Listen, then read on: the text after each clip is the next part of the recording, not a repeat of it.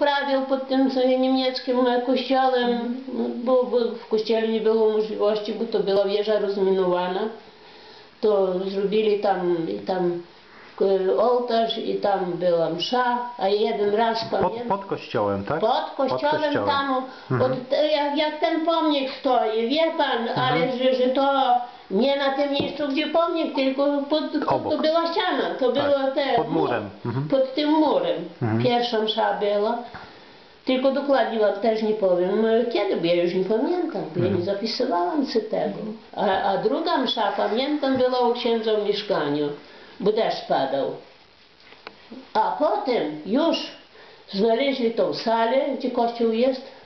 Znaleźli tą salę, tam trochę wysprzątali, bo tam jakieś magazyny były w środku tej, w tym, e, no, w środku tej sali. Były magazyny, jakieś e, atramenty były, e, szminki były nawet do ust. Ja sama chodziła tam po szminki, to pamiętam.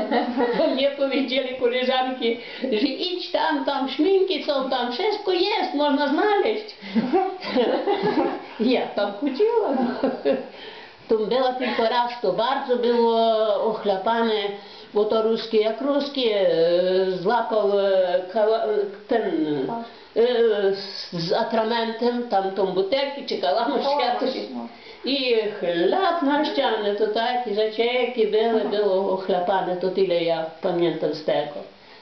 A potem jakoś wysprzątali i już się tam odprawiało.